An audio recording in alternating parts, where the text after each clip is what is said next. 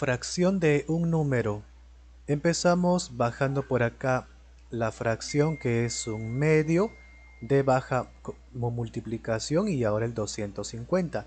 Como hay multiplicación, cualquiera de estos números de arriba se podría dividir entre el de abajo. Conviene 250 porque entre 2 es división exacta. 250 entre 2 es 125, quedaría 1 por 125 y 1 por 125 es 125. La misma idea debajo, 4 novenos, desmultiplicación y ahora 81. 81 entre 9 es 9, quedaría 4 por 9. ¿Verdad? Porque 81 entre 9, 9. Y 4 por 9, 36. Respuestas finales.